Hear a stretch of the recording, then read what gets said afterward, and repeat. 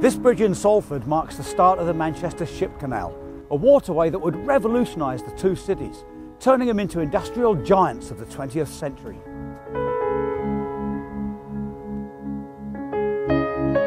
Now, the canal will be leaving an indelible mark in a new revolution fracking and the dash for gas.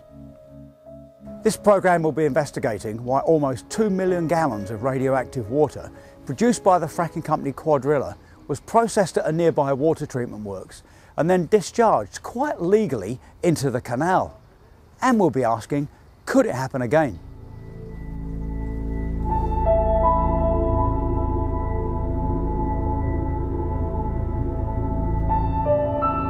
Preese Hall in Lancashire, a site operated by Cuadrilla Resources, is so far the only well in the UK to have advanced from exploration for shale gas to the next phase, hydraulic fracturing. For some, homegrown shale gas offers a bonus and energy independence at just the right time. We've got to have affordable energy. For others, it's a misfortune leading to worries, from earthquakes and poisoning of the water table to fears about increased lorry traffic and harm to wildlife. No one wants fracking in the UK, no one wants it. But there is a proven danger that has yet to fully surface radiation.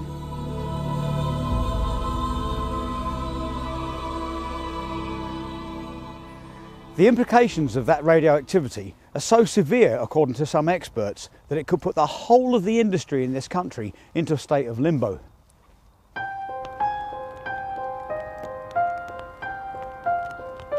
Water is the lifeblood of fracking. Without huge amounts of it, engineers couldn't get the gas they seek. But that same process unlocks natural radioactive material and it's the cleaning of that contaminated water which could become the industry's Achilles heel. Hydraulic fracturing, or fracking as it is known, is a process that happens 8,000 feet or two and a half kilometres down there. Bedrock is shattered to release methane gas. They drill straight, then horizontally.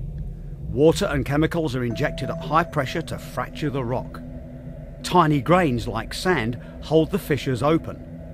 Molecules of gas are released and flushed back to the surface. And it's water which could be a problem for fracking companies. Flushed out fluid also contains radiation. At Preese Hall, the Environment Agency found traces of uranium and thorium. The levels of radium were 90 times higher than you'd find in drinking water. Now we don't want to be alarmist, this is not another Chernobyl in waiting.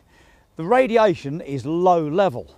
It's called NORM, naturally occurring radioactive material, and it's all around us in nature. But the fact remains there is a danger. And because of that, when it comes to clearing up, fracking moves into a whole new realm. The Dounreay Nuclear Research Facility in Scotland was opened in the mid 50s but in recent years has been in the process of shutting down. Some wear protective clothing, for they're in contact with radioactivity, the invisible enemy which can be lethal unless proper precautions are taken.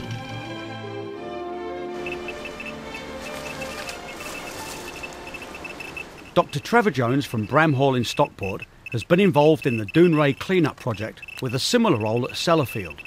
As one of the UK's first accredited radioactive waste advisors, He's legally recognised by regulators as an expert.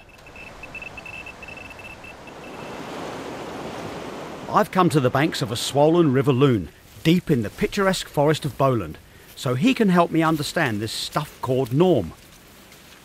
Radioactivity is everywhere around us, uh, in the food we eat, in the, the rocks and the soil and the water. Um, this is shale. Uh, this is an example of the Bowland shale from which they're proposing to extract uh, shale gas underneath Lancashire. Um, and it also uh, contains concentrations of metals dissolved from the rock, uh, including some radioactive metals. Uh, the one, main one of interest in terms of shale gas and norm is uh, radium. And you can see if I put the detector up to it, you can probably hear oh, the yes. radioactivity count is going up to about 300 counts per second. So it's about three times the background radioactivity just from this natural exposure of oh, shale. Oh, wow. So while we're standing here close to this shale, we're not, are we in any danger of, of absorbing too much radiation? No, the radiation that's coming off this is part of the normal background uh, radiation that we're exposed to all the time. The norm radiation only becomes a health issue if it gets into the body, and the most obvious route would be through water. So how much of this radioactive water was there? Well, this place might help us understand it a little bit better.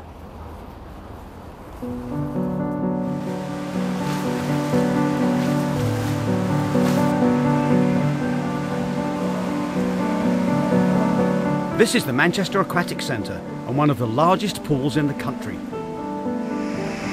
How much water? I'll show you.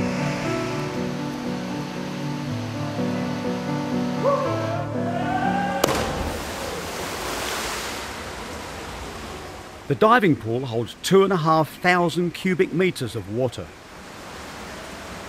We know from the Environment Agency that 8,400 cubic metres of contaminated water was produced in Lancashire.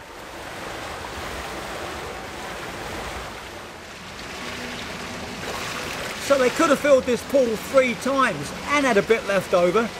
All of the water would have to be treated to neutralise the radioactivity. And that is just one well. Cuadrilla don't know how many wells they might frack, but have estimated it might be as many as 800. And that will produce enough flowback water to fill nearly 2,700 of these pools. And that is just one company. A recent government report reckoned in the northwest that the total amount of contaminated water could be the equivalent of 5,000 pools like this. The same report estimated that fracking could account for about 3% of all the UK's annual wastewater, and that could place a substantial burden on the sewage infrastructure. Another report last month by the Chartered Institution of Water and Environmental Management indicated that the treatment capacity should not represent a problem in the UK, a view shared by Cuadrilla.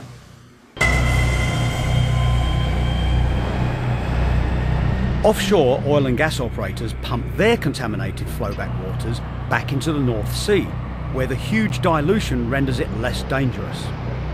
That option isn't open to onshore developers. Cuadrilla stored some of the water in these tanks at Preese Hall. At the time, regulations classed it as industrial effluent. It was processed at the Davyhulme Wastewater Treatment Works in Trafford before being flushed into the ship canal.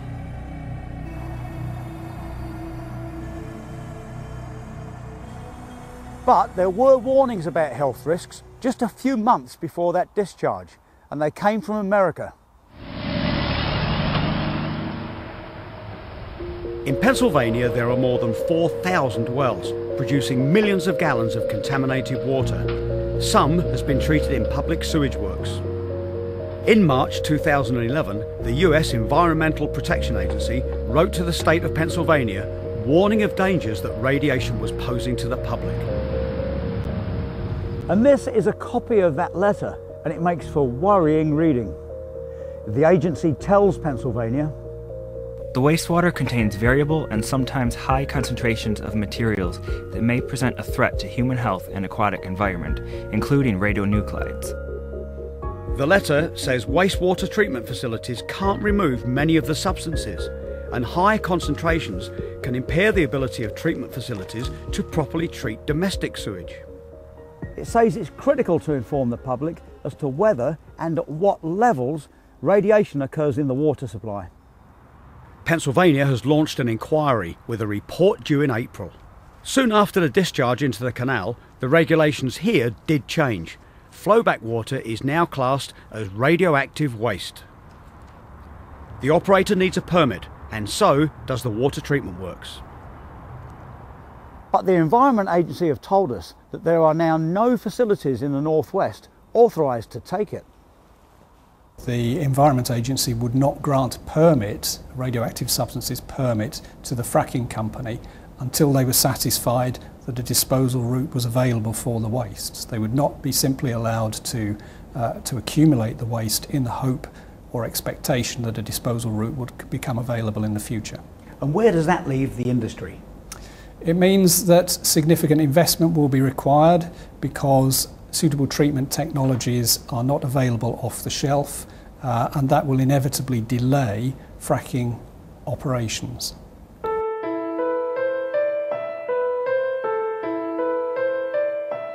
We've learned that a month ago, Cuadrilla withdrew the last of its applications for a radioactive substances permit from the Environment Agency. It may submit more in the future. Cuadrilla told us, without one, it can drill, but not frack. Following recent changes in the Environment Agency's guidance on permits and an ongoing review of our exploration programme, we have decided to withdraw the previous permit applications for our sites in Lancashire. We are preparing new permits and will provide further detail when we announce a number of proposed new exploration sites. We will need a radioactive substances permit to flow test any well after fracturing.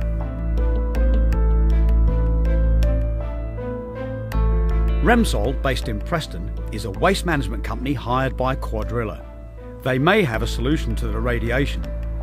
In trials, they say they've developed a technique which reduces the radioactivity by 90%, and they believe it can be scaled up for full production.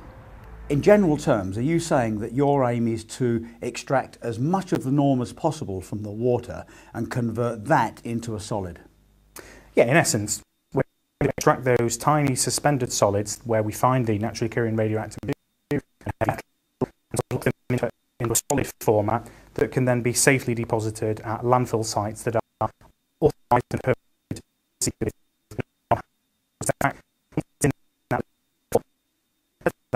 radioactive material doesn't then render that material a radioactive waste for disposal purposes.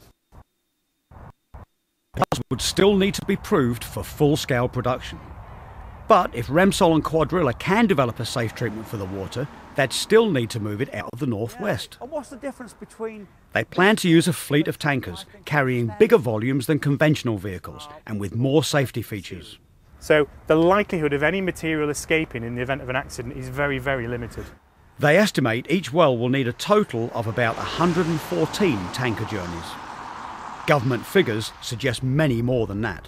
We've based our numbers on the fracture plans that we've uh, we've seen from an operator. I think everybody else at this stage is is basing their assumptions on anecdotal evidence and, and analogues from around the world, not necessarily from the UK.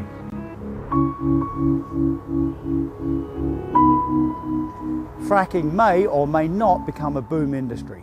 The operators will only know what's down there by drilling many more exploratory wells. And if the gas is viable to extract, they'll be producing lots and lots of flowback water contaminated with radiation. And the only certainty we have now is that no one yet can guarantee how those sorts of volumes are going to be cleaned.